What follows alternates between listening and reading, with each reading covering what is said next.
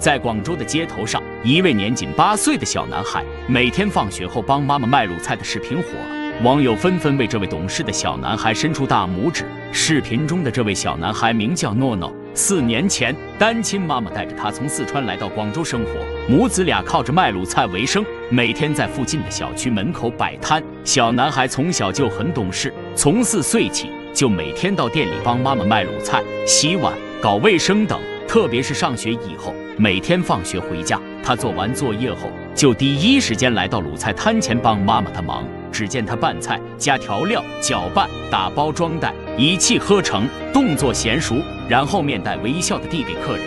口渴了就拿起瓶矿泉水喝两口，然后继续帮妈妈。